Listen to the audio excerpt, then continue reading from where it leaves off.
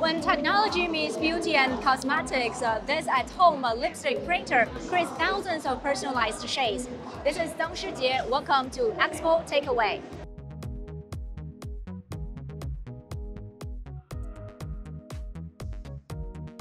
In this year's China International Import Expo, French company L'Oreal has created a buzz at the consumer goods section for its newly released gadget, YSL Rouge sur Mesure.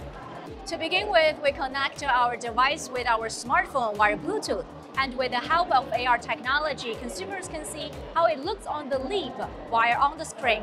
And there are three ways to choose the desired shades.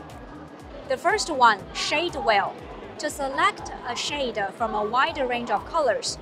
The second one, shade matching, to match a standout outfit or favorite color with a simple photo capture.